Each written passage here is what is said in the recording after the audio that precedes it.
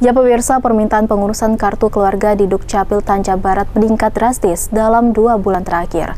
Bahkan berdasarkan data dari Dukcapil Tanja Barat, dalam sehari pihaknya mencetak tidak kurang dari 100 KK.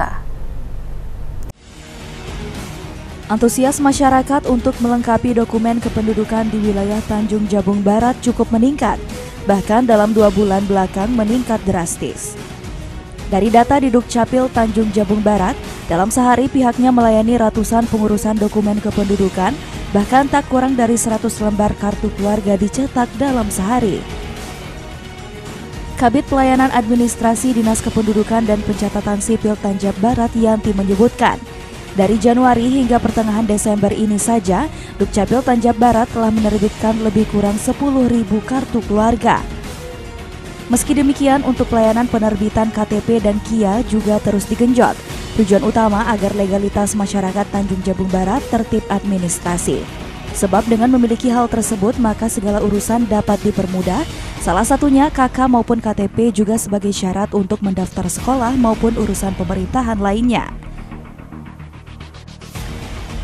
Eh, Alhamdulillah mungkin uh, untuk pelayanan KK ada beberapa item perubahan KK yang masyarakat ajukan ke kami seperti penambahan anggota keluarga, eh, perbaikan elemen data, eh, kedatangan, pindah datang.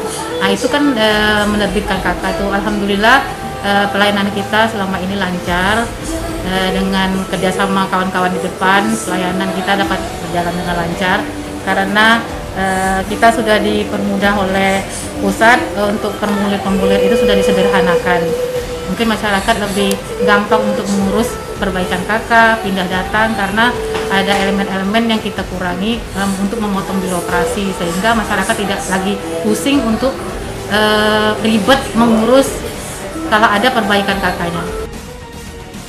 Selain itu, Yanti menambahkan yang mana jika saat ini dalam pengurusan kartu keluarga juga dipermudah, sebab saat ini kartu keluarga yang diterbitkan hanya menggunakan kertas jenis F4 dan juga disertai kode barcode secara online.